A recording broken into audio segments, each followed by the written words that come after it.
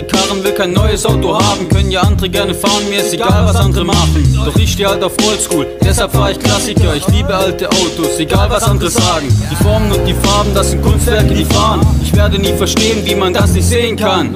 Ist ja auch egal, jedem sein Ding. Doch weil ich alte Autos fahr, werd ich heute schon beschimpft. Mein Oldtimer macht vielleicht mehr Dreckpartikel, doch dein E-Auto ist nur ein Wegwerfartikel. Nicht gerade nachhaltig, was ihr da so macht.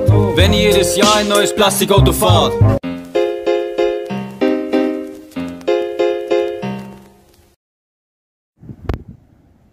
Ja, moin zusammen. Ja, wie man sieht, geht gleich los zur Post. Alles voll. ja, aber erstmal was anderes. Und zwar, wir hören alle von, von diesen ganzen Klebekünstlern und sowas alles in der Richtung und äh, lesen auch äh, ganz oft von denen, mein Kompressor muss ausgerechnet jetzt anspringen, ne? Klar. Okay. Ja gut äh, Klimaaktivisten etc. etc. Ähm, faseln immer die ganze Zeit, äh, SUVs wären vom Militär entwickelt worden, um durch die Wüste zu fahren. Dass diese Leute nicht unbedingt die hellsten auf der Torte sind, äh, die hellsten Kerzen natürlich, ne? die hellsten Kerzen auf der Torte sind, äh, wissen wir alle. Sonst würden die nicht die Leute verärgern, die, äh, die sie eigentlich erreichen wollen. Ne? Ja, es ist windig. Dafür haben wir auch 15 Grad. Ne? Okay.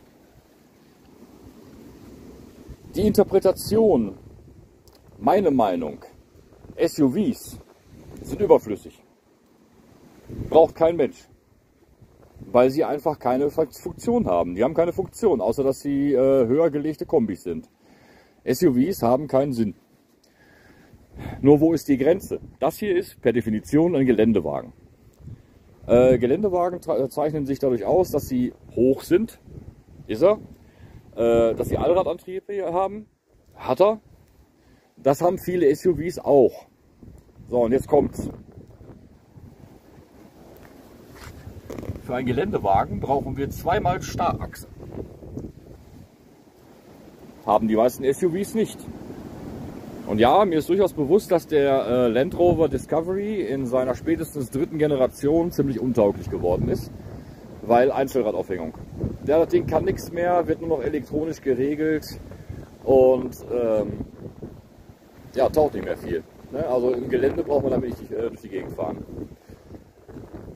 Ähm, die Verschränkung der Achsen, also diese Maximalverschränkung, ich äh, blende euch mal ein Bild ein.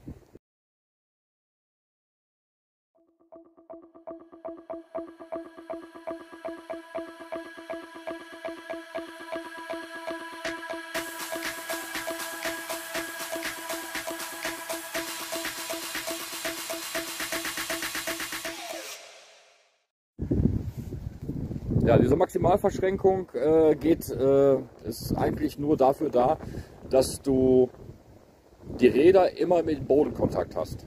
Ne? Wenn du die Räder immer auf Bodenkontakt hast, kannst du dir die ganzen elektronischen äh, Spielereien sparen. Räder auf dem Boden heißt Vortrieb. So. Ergo, das kann ein SUV schon mal nicht. Der kann höchstens über die Bremsen regeln und das ist echt lästig. Bei manchen Fahrzeugen verschwimmt das Ganze allerdings. Opel Frontera zum Beispiel, ich blende euch mal ein Bild ein, meinen zum Beispiel.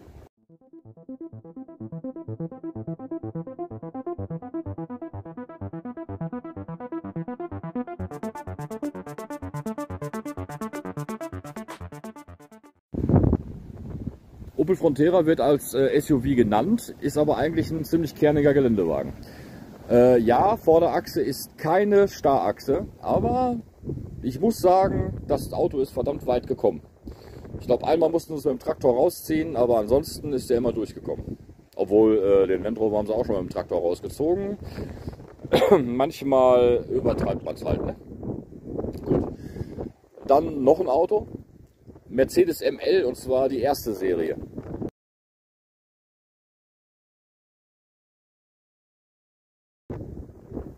Kann überraschend viel. Habe ich selbst gehabt. Äh, G Mercedes, die alten, okay, lasse ich mir gefallen. Die neuen können nichts. Also im schweren Gelände können die nichts mehr. Ne? Das ist äh, ja ein Spielzeug für talentlose Rapper. Aber ansonsten auch nichts. So, dann wollen wir mal loslegen und mal gucken, wo wir Traktion finden. Ja, nächste Eigenschaft eines Geländewagens im Gegensatz zu einem SUV. Man sieht drin, äh, man sieht zwei Schalthebel, nicht wahr? So. Bremse drücken.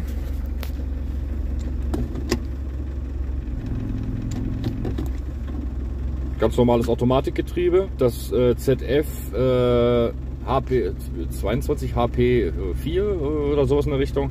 7er BMW, Volvo, äh, weiß der Teufel, haben die auch drin. So, auf neutral. Dann haben wir den zweiten Schalthebel. Wir sehen hier, äh, dass wir eine Untersetzung haben. Das zeichnet einen Geländewagen aus. Wir haben eine Untersetzung. Und auf der anderen Seite, wenn wir also hier rausschalten, jetzt haben wir in neutral, jetzt könnten wir hier in D gehen. Ne? Der fährt nirgendwo hin, ne? weil das äh, Verteilergetriebe gesperrt, äh, äh, auf neutral steht. So. Jetzt haben wir hier zum Beispiel eine Differentialsperre. Jetzt haben wir den Ruck gemerkt, ne? Das ist Untersetzung und Differentialsperre. Maximale Untersetzung, das heißt bedeutet äh, maximale Kraft und gesperrte Achse, äh, ach, äh, gesperrtes äh, Mittendifferential. Sieht man hier auch. Ja, wird angezeigt.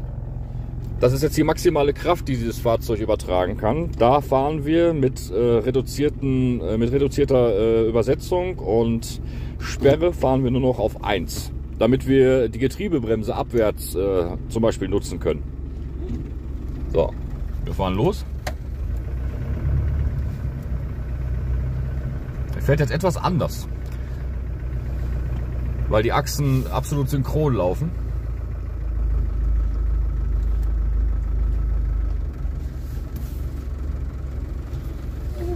Ich fahre lieber nicht hier runter. Fahren wir lieber hier lang. Ja, mit gesperrtem äh, Mittendifferential fahren wir auch nicht mehr über die Straße.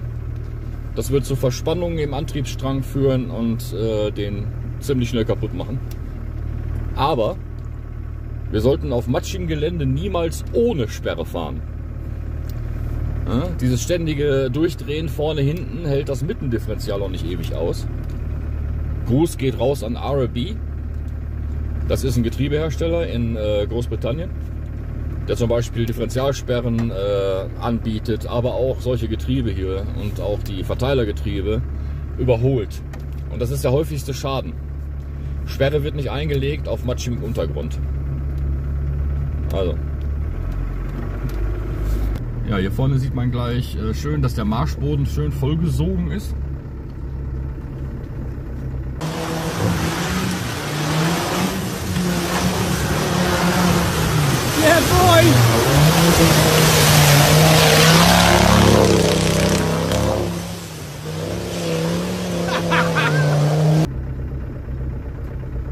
Die Differentialsperre dürfte uns jetzt nicht großartig interessieren. Ich lasse das äh, Lenkrad los, gebe eben ein bisschen Umdrehung und dann müsste er sich da eigentlich so durchziehen.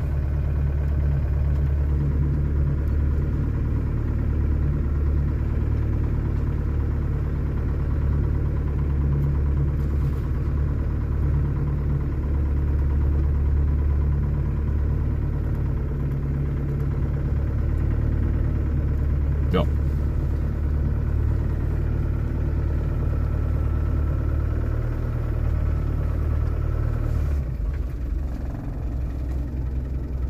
Ja, im Leerlauf ist das jetzt diese Geschwindigkeit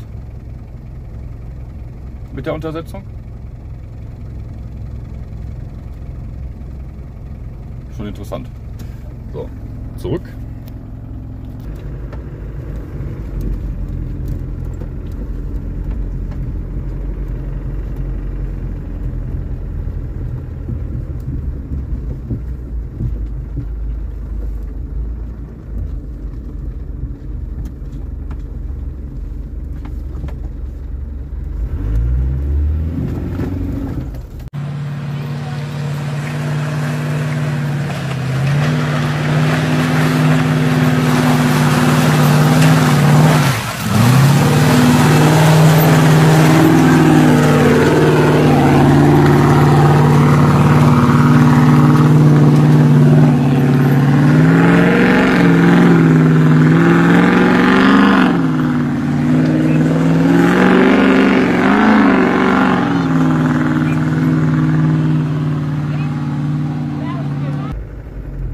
Hier ist zum Beispiel eine brandgefährliche Situation. Wenn wir jetzt auf der Fahrspur, da, die man jetzt hier sieht, weiterfahren würden, hätten wir gleich ein echtes Problem. Wie gesagt, das ist Marschboden. Die Wiese sieht zwar relativ fest aus, ist sie aber nicht.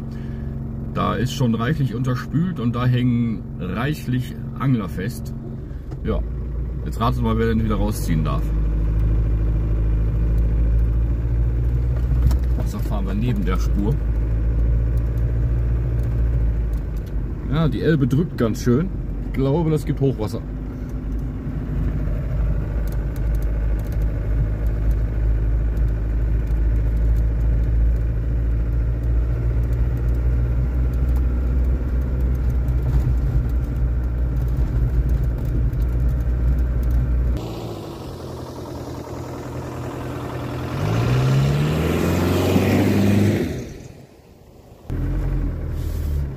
Mal da, Steine.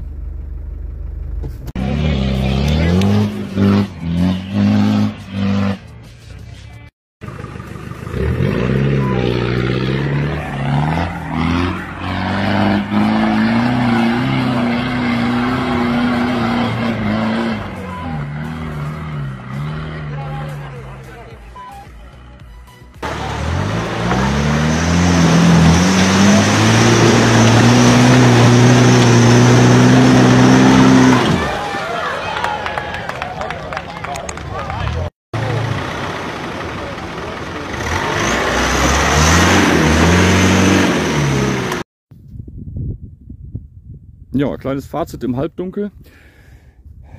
Geländewagen sind Werkzeuge. Nicht mehr und nicht weniger. SUVs sind höhergelegte ja, Kombis. Das ist der wesentliche Unterschied. Bequemlichkeit, äh, Komfort und äh, ja, Fahrkomfort an sich äh, steht zurück hinter der Funktion. Beim SUV sollst du möglichst bequem von A nach B kommen und halt hoch. Was, wie gesagt, nach meiner Meinung keinen Sinn macht. Ja. Gut, das ist einfach äh, die Definition eines äh, Geländewagens im Vergleich zu einem SUV. Ein SUV wird na, da nie hinkommen, wo ein Geländewagen hinkommt. Ja. Dafür bleibt man dann bequemer stecken. Und wir kommen dann und holen euch da wieder raus. Machen wir quasi täglich. Ach ja. Das äh, ist auch eine spannende Geschichte. Den Wagen kennt ihr. Der Kurbelwellensensor. Der Hyundai. Mit dem waren gestern zwei Damen äh, bis nach Rostock. Der klappert. Vor zwei Wochen oder der hatte, letztes Jahr hatte einen Wildunfall auf der Seite da. Das wurde repariert von einer Lackiererei. Dann war der im Zuge dessen, war er auch beim, bei der Hauptuntersuchung. Und äh, die hinteren Räder halten die Spur nicht im geringsten. Ja, da kommt auch noch was Spannendes auf uns zu, aber der geht morgen erstmal in eine, äh, in eine, Be also in eine Werkstatt von einem Bekannten. Stefan kennt ihr ja auch. Von meinem, äh, von meinem Klimaauffüllen. Der geht bei Stefan auf die Bühne, da gucken wir erstmal ganz äh, erstaunt, weil die sind dafür bekannt, dass die Längslenker hinten von den Hinterachsen durchrosten. Bin jetzt schon gespannt wie ein Flitzebogen, was da passiert ist. So, Sonnenuntergang da hinten, der klägliche Rest. Ich wünsche euch ein, ja, ich wünsche euch einfach eine schöne Woche. Man sieht sich im nächsten Video.